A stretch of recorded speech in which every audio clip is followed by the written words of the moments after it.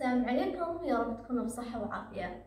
اليوم راح نتكلم عن أدوات الصوتية. طبعا هذه جدا جدا قديمة أدوات علاج بالأصوات. فاللي أبي أقول إن كل أدوات علاج بالأصوات مو شرط تكون علاجية. في بعضهم يكون عندهم أداء جميل للأدوات الصوتية لكن فاقدين لمهارة علاج بالأصوات.